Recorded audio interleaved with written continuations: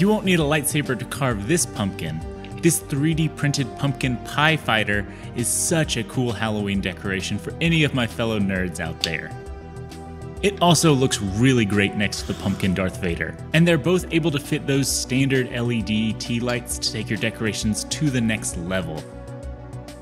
It also works as a good toy for kids of any age.